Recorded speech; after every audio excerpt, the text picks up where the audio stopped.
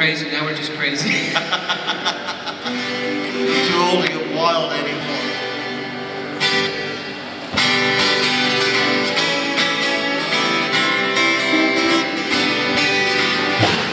I need your love.